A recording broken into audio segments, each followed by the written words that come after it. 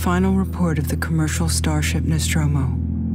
Third officer reporting. The other members of the crew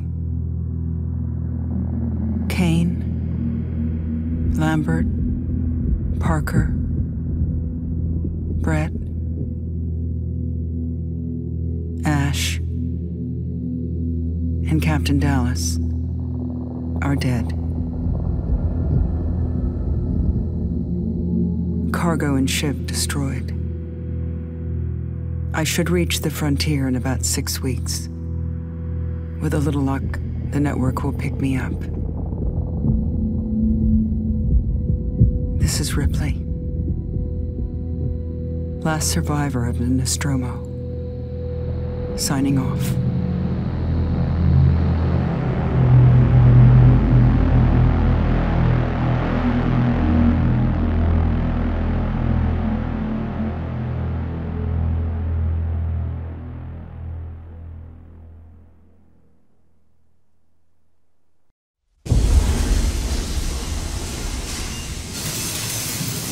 Ripley?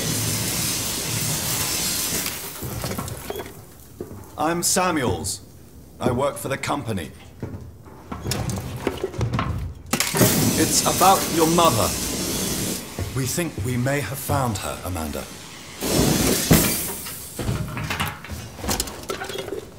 A commercial vessel, the Anesidora, has recovered what we believe to be the flight recorder unit of the Nostromo. Where? Zeta Reticuli. What did it tell you? We don't know. The unit was taken to Sevastopol station. It's proprietorial material, so the company wants it to be collected as soon as possible. Sevastopol's a supply depot in the region. It's a, a permanent free port. I know what it is.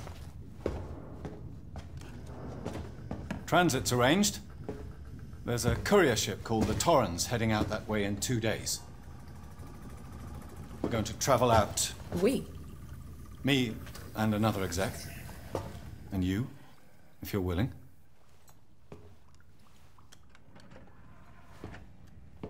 Look, Ripley, when this job came across my desk, I read the case history. I know why you're working in the region where she went missing. You're still looking, aren't you? I've been cleared to offer you a place on the Torrens if you want to come along.